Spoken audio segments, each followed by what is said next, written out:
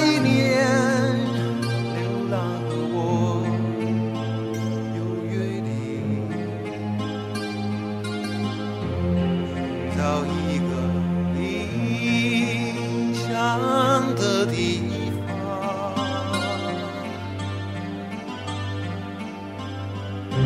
盼望有人告诉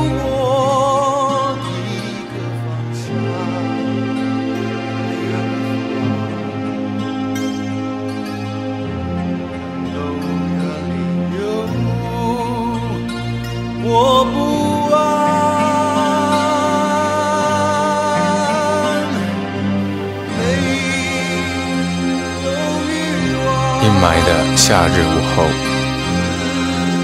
天空中轰隆隆的响着闷雷，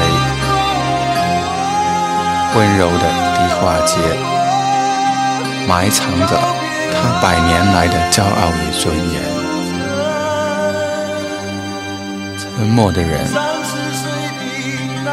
用汗水、泪水来支撑自己的日子。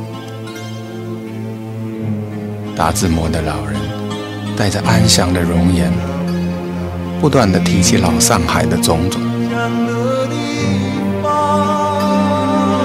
一九四九年，我离开了那儿，以为马上就可以回家。现在我存了不少钱，等待着启程返乡。可是，儿子在年初辗转的捎来消息说，母亲已经入土安葬。希望老人家您要撑着，撑着等待四十年来的重会。希望老人家您要撑着，希望